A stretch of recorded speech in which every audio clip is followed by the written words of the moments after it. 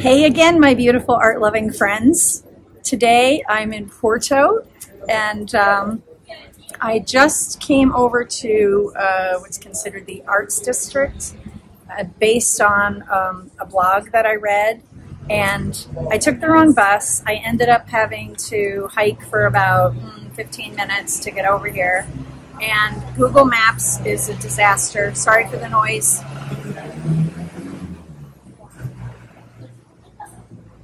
I hate Google Maps with a passion. Every time I try to go somewhere, the arrow is pointed in the wrong direction. And I always have to ask somebody anyway. Maybe I'm just an idiot. I don't know. But anyway, I did not have an easy time getting over here. And um, honestly, I have to say, first impressions are that you know are not wonderful. It's completely different than what I expected. And maybe it's because, you know, it's just a very, very old city. And uh, maybe once I get up and start walking and uh, looking around, I'll find interesting and exciting things. Uh, the blog that I read said that there was some uh, nice street art, and I expected there to be a lot. Uh, I really only can see a little bit, but you'll walk with me and discover as I discover, okay? Um, I think I do see a gallery or two across the street. So I'll start over there after, um, you know what, wine o'clock. really, uh, you know, hey, when in Rome, right? Uh, I'm in Porto where they make magnificent uh, port wine. And uh, just the culture in, in uh, Portugal in general is to relax, have a little have a little sip of wine or two and enjoy your life, enjoy your day. So that's what we're doing. Um, so yeah, when I'm done, uh, we're going to go walk around uh, the arts district in Porto and see what we see. All right, stay with me. Okay. Okay, kids, I finished my wine and we're going to leave this cute little cafe now and uh, venture across the street and see if those are indeed art galleries that we're looking at. That looks like one, that looks like one. Let's go see about this here arts district. I'm gonna turn the camera around here so you can have a look. Okay, so this is Rua de Miguel, I think, uh, Miguel Bombados here in Porto. And let's go over here.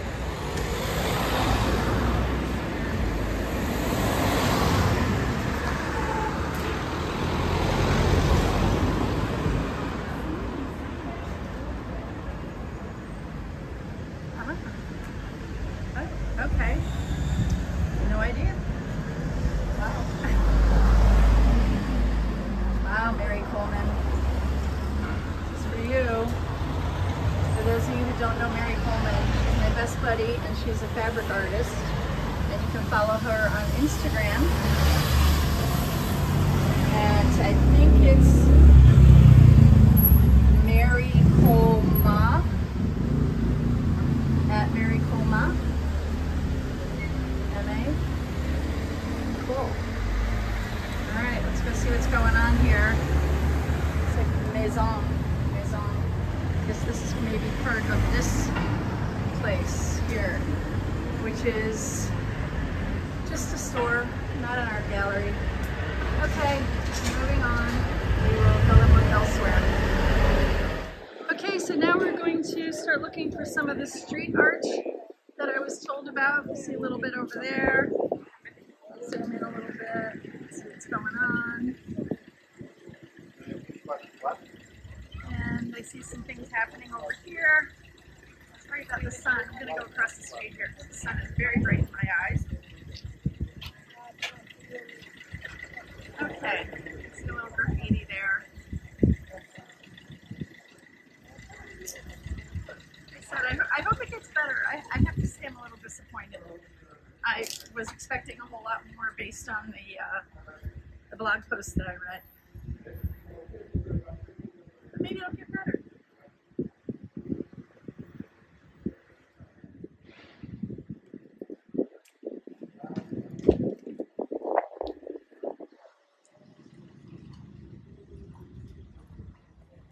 Looks like that's an antique store. You know, in the United States, when there's, we say we have an arts district, you know, generally there's a bunch of art galleries together, um, maybe some handmade artists outside, cafes, big sign that says Art District, but uh, they're keeping it pretty well hidden here.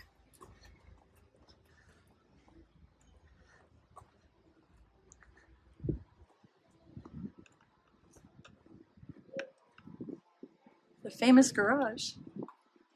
Okay. Take a break. It's like just another restaurant. Oh man, okay. Just looks like an antique shop. Second hand over there. Maybe I'm on the wrong street. I don't know. This is not like what I expected at all.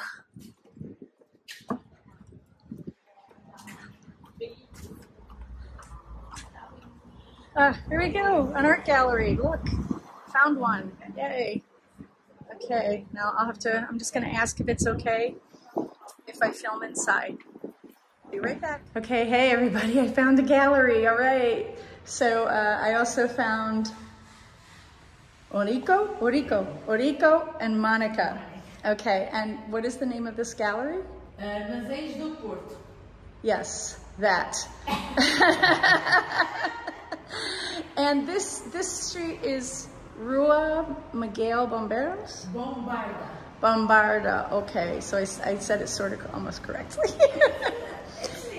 okay, so in this gallery, um, uh, are these local artists? Uh, no, not local. Uh, Portuguese artist. Uh, this one from this side. Uh, that one is from Mozambique. Oh. Ruben Zacarias. But he's living already here in Porto for a couple of years now. Okay, but uh, so this whole wall Yeah. is the gentleman from Mozambique. Yes. Okay, and then this is This one. is also from him. Uh huh. That one in the middle, left side, it's from Luís Porto, and it's from a Portuguese artist, uh, but not local, near Porto. Okay, so we have two artists in here, Yes. basically. Okay, so this is all Mozambique man, and I will I will highlight his name on the tags because I can't say it. but these are uh, these are quite beautiful and textural, colorful, very cool.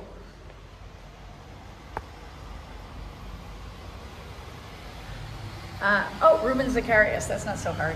Okay. It only sounds exciting with the Portuguese accent. it only sounds more difficult to me that way. it's lovely.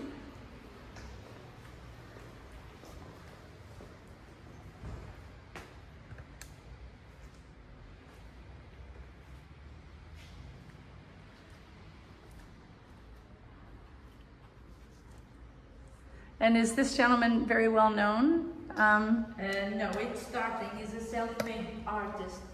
aren't we all? yeah, yeah. I mean, come on. He doesn't have any degree or study in the university. Oh, okay, yeah, well, that's me That's too. we say self-made. Yes, okay.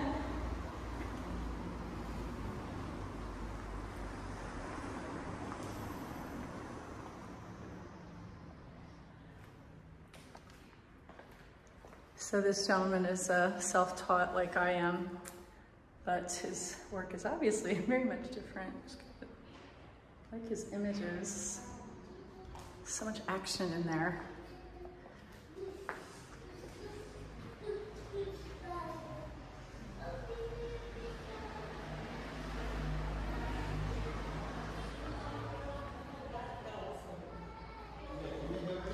Not going to stop at every piece here. I'm just going to give you like a, an overview of this gentleman's work as we go along uh, the galleries here now that we found them.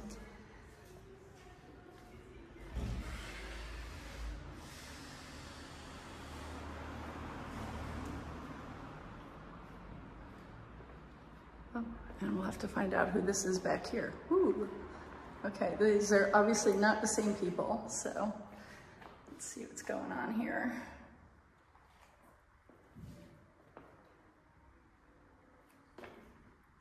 Huh, kind of interesting cartoons.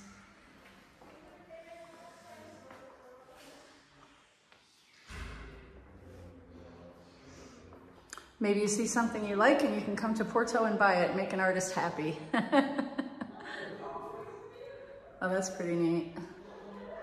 So reminiscent of the uh, oh, so many of the churches that I saw in Rome and Lisbon and all the uh, Byzantine and gold mosaics. Not so much in Lisbon, but in, in Rome and Sicily.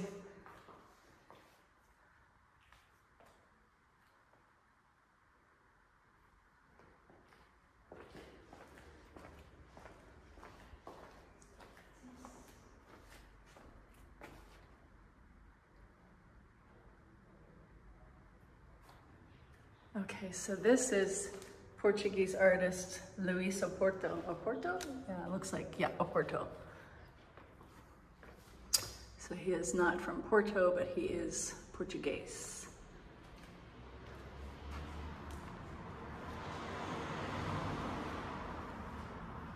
I would really, really love to hear your thoughts about the pieces that you're looking at here. I'd love for you to um, tell me your opinion in the comments.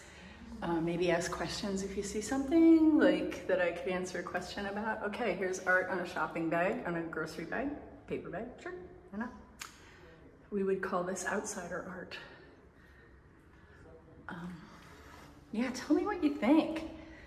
Like, I'm, I'm loving doing this because it makes me feel like I'm not really traveling alone because I'm sharing with you everything that I'm seeing. Not everything, um, but I'm sharing a lot with you. And if you comment and tell me what you're thinking, then we can really, really um, have, a, have a dialogue here and, you know, exchange our thoughts and ideas.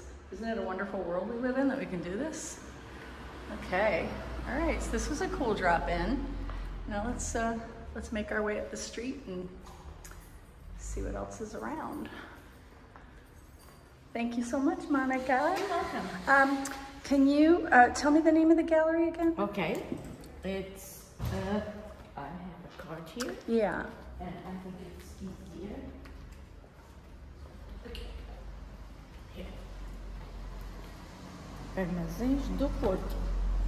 Okay, and you have, okay, you're on Instagram and everything, so I will, uh, when I post this, I'll tag you. Thank okay, you so would- much. Thank you. Um, okay, so I think we are now on the trail of some galleries here in the art district in Porto. So uh, let's mosey across the street. I see some people, some things going on over there.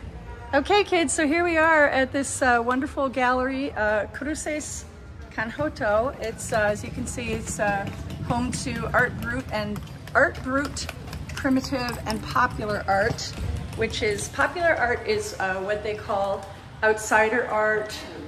Uh, they don't say folk art, um, but that's, that's the name that they use in Portugal to describe the work of untrained artists, people um, from different countries, um, uh, people in different civilizations that are making art that is very unfamiliar to us, um, but is really, uh, as the director explained to me, he won't, he won't come on camera, but he explained to me that these, these kind of images, these kind of pieces um, uh, come from, come from um, you know, ancient, untrained people, like you see the, uh, is that a, uh, I, I forget the name of that one there, but it's from the Native American culture.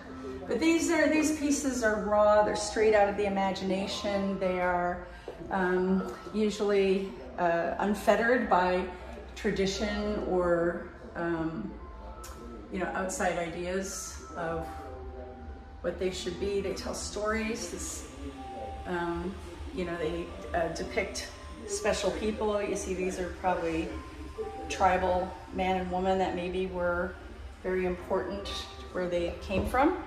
And so here we have the names of the exhibit. Um, this is a Aclama, Figuras Fetiche. Yeah, I don't know. Uh, anyway, so these, uh, it, these figures you know, you can you can tell they're man and woman because you know, woman woman has the the boobs, but down here, this is woman represented also. Um, so these are, you know, these are people who are carving and making things straight out of their imagination and experience. They're not held to any certain aesthetic. Their aesthetic is one that is understood by, uh, you know, ancient culture around them, um, or they might even be modern cultures in uh, remote places in, um, say, around Africa, different countries around there. The Portuguese, Portuguese um, have been around and conquered a number of countries, Angola being one of them. And so there are a lot of people here that I've come across that are from Angola because they, uh, as a territory or whatever of Portugal, they have dual citizenship. So there's very strong tie to the African continent. And so this museum is, is completely, not museum, gallery. this gallery is completely dedicated to um, art brut, popular art, as we said. Um, some of the uh, first images that we saw, the devils, um, we'll go back and talk about that in a minute. Um, but much of this art is also um, from Portugal, up in the north. Look at this collection. How amazing are these masks? Wow. So imagine you're, you know, someone living in a, in a remote village or something and you, um, you know, you only have certain amounts of materials around you and you're trying to express a feeling or tell a story about who you are, where you live. Like this, this might be a perfect example. Uh, I believe this is all beaded. Look at that. Uh, for all we know, this could be a self-portrait. This could be someone important in the community. Um, this could be a religious figure, but that's how these things, these things are just, you know, made by hand with primitive tools, making primitive art to tell the story of their lives. And that's a lot of what art is about. It's telling our story, being remembered.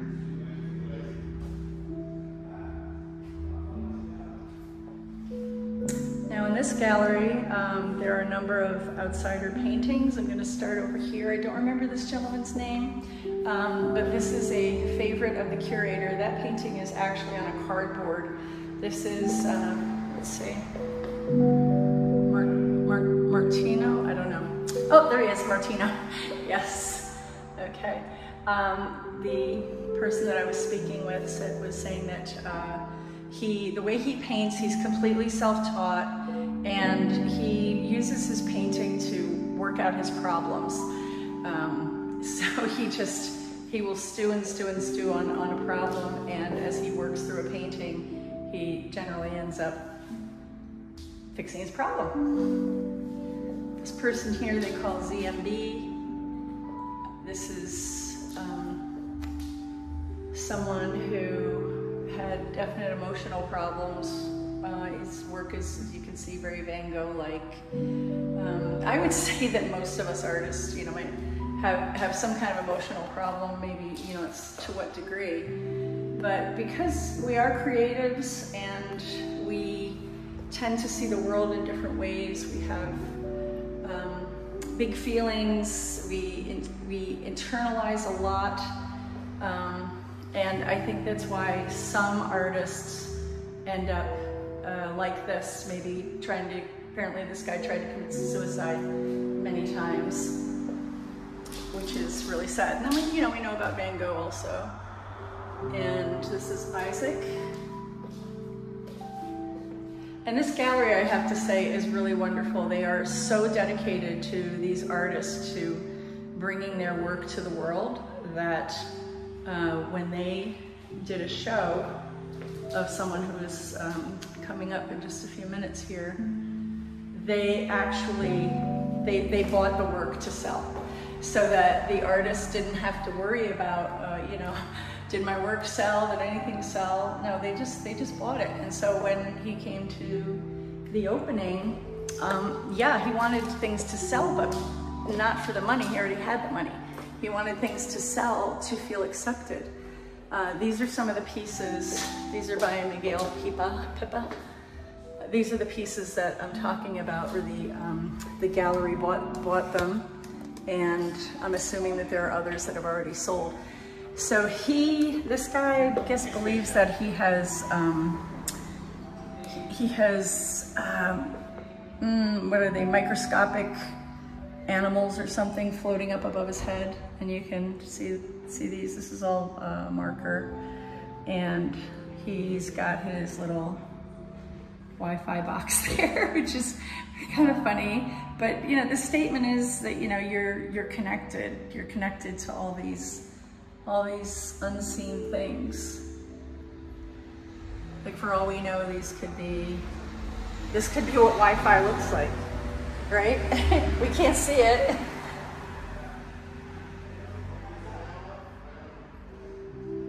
very interesting work. And even, even just this pattern, it's, it's really beautiful. Look at that, you move away and it's just really textural. And then when you move in, so much detail, so beautiful. Um, I think that the curator said that this guy was also schizophrenic, or um, oh wait, we can go and look at his story because he did he did have a lot of emotional problems, and he started painting or drawing, I guess I would call this drawing on canvas so he was born in 1980 in Caxinas, peculiar fisherman's neighborhood, an education. He's never had an academic education. Okay, we will read that soon. Okay, I'm gonna edit that out. Okie dokie.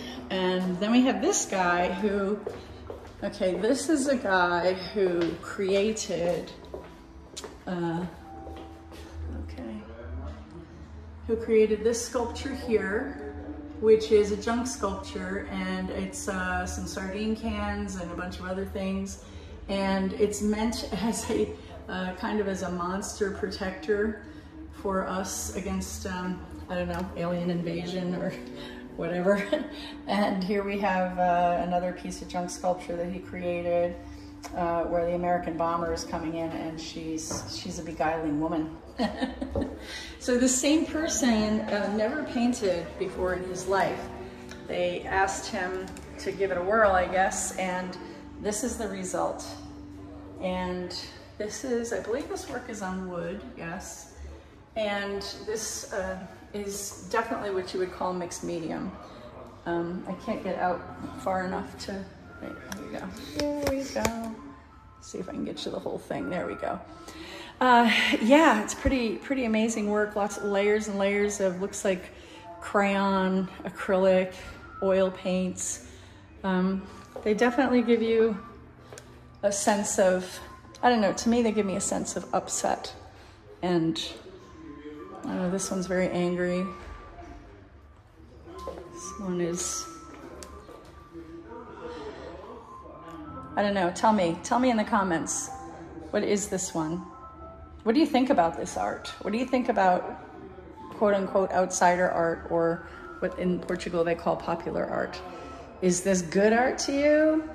Does it make you feel anything? Does it make you think anything in particular? Um, wow, here's another one, a big one here. It's a big one of the other gentleman there. Wow overall a very, very interesting gallery. The, um, the owner was also telling me that the, these uh, figures that look like devil figures, that these are actually not meant to be such, that these are figures made by women and they are made sort of like against the patriarchy because like this one is about women having children and um, how it looks like how they are sort of overtaken by, by the women or I mean by the kids. And, um, you know, the tongue is out to say, hey, you know, they, they don't have any voice. Um, and the same thing with this one up here. So, and I believe he said that these are made by um, Portuguese women up in the north. So uh, that's pretty much it. I think I've um, probably mangled half the things that he told me about uh, the pieces in here, but uh, I will be posting the, their website with all kinds of information about uh, the gallery and the pieces. And I would really encourage you to uh, go and have a look if you want to learn more about these and um, get the correct story. But I just wanted to introduce you to this very, very cool um, Art Brut popular outsider art gallery. And uh, I hope you enjoyed it. And this book, I just wanted to show you real quick. This is a book that was written about this gallery, about the collection um, of uh, Portuguese popular art. So if you're ever in a bookstore and you want to get something cool to read, learn more about it, there you go. Okay,